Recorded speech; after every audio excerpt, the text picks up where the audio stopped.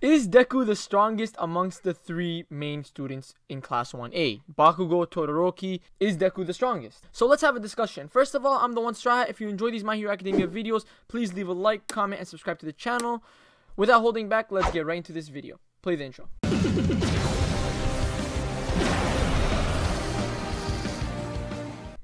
I personally think 20% Deku, like 20% using one for all, is on the level of Todoroki and Bakugo or even higher than that. Now, you might be like, okay, that's crazy. 20% Deku, and you're not even counting 6 quirks, because Deku now has 6 quirks, which he obviously hasn't mastered yet, um, but he could probably use them in situations, in dire situations. So if he was versing Todoroki and Bakugo, and it was an all-out fight, and he would be in a dire situation, one of those 6 quirks might help him in that situation. You never know what type of quirks this guy might even have. Okay, uh, we only know one of them, which is Black Whip, and Black Whip is pretty useful. Now, these six quirks he has might not be combative quirks. They might not be used for fighting. But I'm assuming at least one of them could help him in a fight.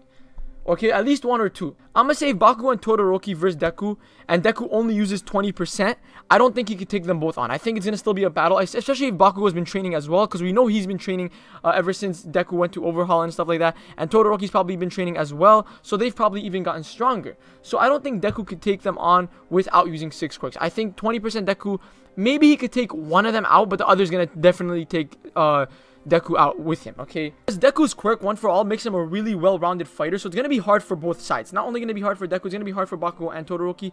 And Bakugo is a battle genius, so he just knows how to fight. And Todoroki has the range to help Bakugo.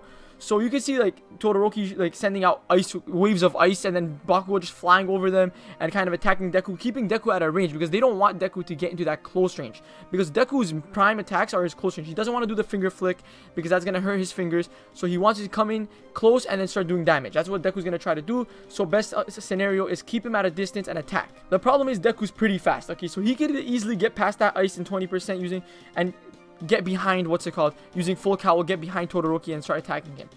Now, that's where I think if he takes out one of them, the other's going to take him out right when Deku gets personnel, okay? I feel like the other one's going to use it that somewhat to their advantage, and I think it's still going to be a hard fight for Deku. Um, now, if Deku starts using the six quirks, but he, he hasn't mastered them, so let's say, let's say Todoroki and Deku, I mean, Todoroki and Bakugo are too much for Deku, right? And they're putting him in a dire situation where he needs to use one of these other quirks. Now, the quirk that comes out is obviously going to be a, a quirk that he needs in that situation. We don't know what it's going to be, but it's probably going to help him and help him drastically. So that's what I'm thinking. So I think Deku would win the fight if, if he uses his 6 quirks. I think if he doesn't use his 6 quirks, it's going to go to Todoroki and Bakugo. I think he could at least take down one of them in a 2-on-1 fight. So at this point, I still do think Deku is stronger than Bakugo and Todoroki. This is a quick discussion. I have to do this quick because this week I'm pretty busy. I have family over, as I said on Twitter. Uh, if you follow me on Twitter, I let, I let you guys know what's going on in my life. And that's why I haven't been doing One Piece chapter reviews uh, because they happen they tend to come out late at night and I just can't be up that late because you know I have family over and they're trying to sleep. Uh, they're gonna be here for like two to three weeks, so one Piece chapter reviews will come out again, don't worry. Um, but yeah, other than that, I'm the one try. That was a pretty short video. There's not really much to discuss about that. I want to discuss this in the comments. It's more of like a comment type of video. You know, have the comments riled up.